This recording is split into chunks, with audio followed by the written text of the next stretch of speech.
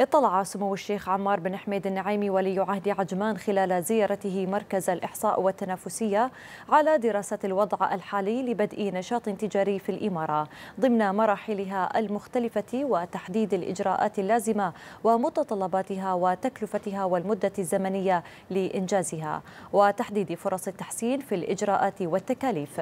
كما واستمع سموه إلى شرح واف حول منهجية الدراسة التي تتضمن تحديد مراحل الأعمال الرئيسية التي من بينها استخراج الترخيص وحتى مزاولة الأعمال واختيار أنشطة اقتصادية محددة وذات أولوية ووضع الافتراضات لها ليتم بعدها رسم رحلة المتعامل بناء على مراحل العمل الأساسية لدراسة تتبع الأعمال.